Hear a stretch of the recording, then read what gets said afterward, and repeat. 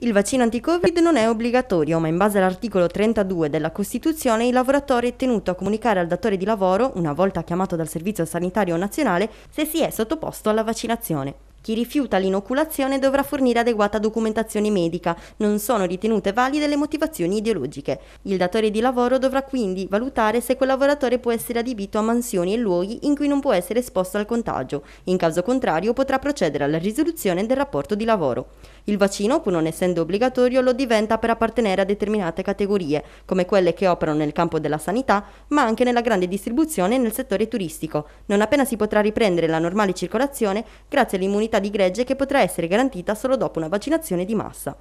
Per quanto riguarda i datori di lavoro e la possibilità che possano licenziare i lavoratori che senza motivazione medica rifiutino la vaccinazione, questi possono rivalersi anche sull'articolo 2087 del Codice Civile, secondo il quale si obbliga gli imprenditori a tutelare i dipendenti e collaboratori sia per ciò che attiene la salute, sia per quanto attiene la sicurezza nei luoghi di lavoro. L'amministratore ha dunque l'obbligo giuridico di impedire che chi entra in contatto con l'ambiente lavorativo possa contrarre il Covid.